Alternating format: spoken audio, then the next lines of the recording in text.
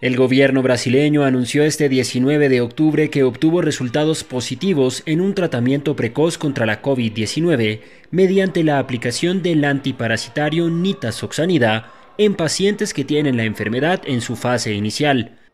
El anuncio fue hecho en un acto encabezado por el presidente del país, Jair Bolsonaro, quien recordó que en su momento defendió el tratamiento de la COVID-19 con hidroxicloroquina, que aún siembra dudas en la comunidad científica, y pidió no desconfiar ahora de las posibilidades que puede ofrecer la nitazoxanida.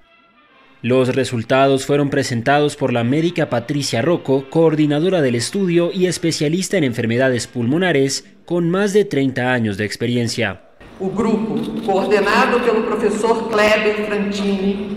El grupo descubrió que la nitazoxanida podía reducir la carga viral sin dañar la célula.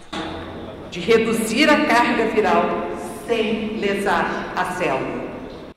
Rocco explicó que entre junio y agosto 1.575 voluntarios que tenían coronavirus en una fase inicial fueron tratados con ese fármaco y que en un 95% de los casos hubo una reducción de la carga viral sin daños a las células pulmonares ni otros problemas colaterales.